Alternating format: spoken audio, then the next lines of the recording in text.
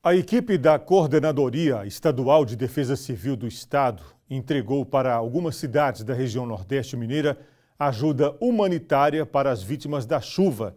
Só em Teoflotone tem mais de 200 desabrigados e outros 600 desalojados.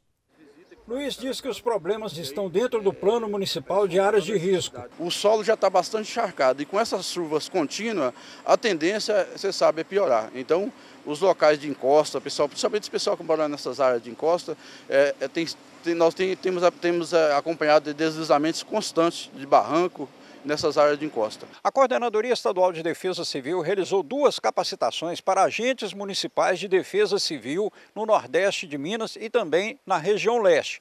Com esse trabalho preventivo, foi possível auxiliar mais rapidamente as populações atingidas pelas chuvas e evitar os impactos. Esse caminhão foi carregado com produtos para a cidade de Ouro Verde de Minas, também no Vale do Mucuri. São 12 pessoas desalojadas. A chuva danificou casas, ruas estradas.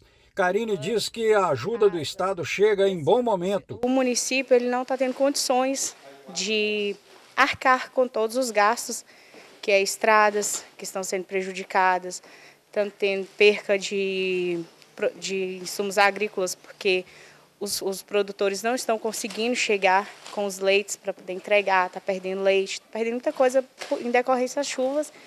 E graças a Deus a gente está tendo a Defesa Civil Estadual que está dando esse apoio, né? Fornecendo esses kits.